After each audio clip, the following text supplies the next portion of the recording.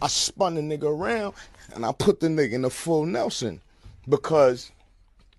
once the shots was going off, the two niggas was over there that was down there pulled out the hammer and the nigga right here